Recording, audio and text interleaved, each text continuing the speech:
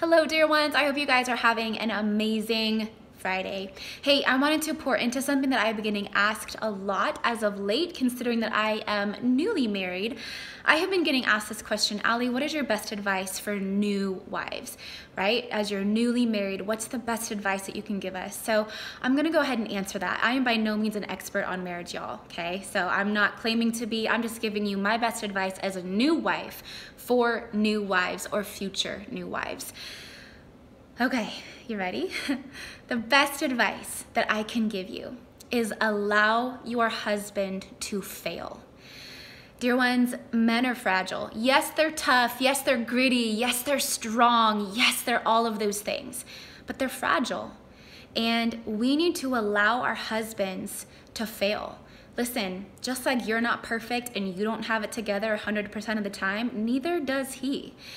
My husband is Superman, okay? That is a fact. But he is Superman, operative word being man. He's still a man. He's imperfect.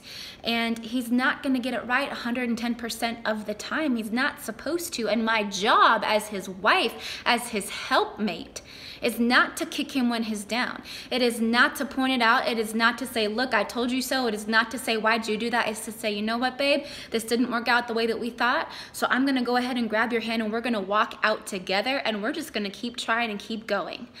Allow that man to fail because if he's not allowed to fail, he's going to be terrified to try. Proverbs 31:12 says that for a wife of noble character, it says that she brings her husband good all the days of his life, not harm. Don't be a wife that brings harm to your husband's spirit.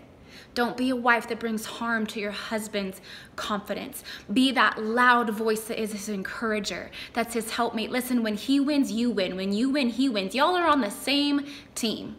And I think that so often in marriage, we lose sight of the fact that your husband doesn't need a mother, babe. He needs a wife, a best friend, an encourager, a teammate. Be that. Allow him to fail. And I'm not talking about toxic behavior. I'm not talking about abuse. I'm not talking about infidelity. That is not what I'm talking about. I'm talking about allow him to not always get it right 110% of the time. And then help him and walk together so that you both get it right. Okay? I love you guys. I hope that was helpful for you. I'll talk with you soon.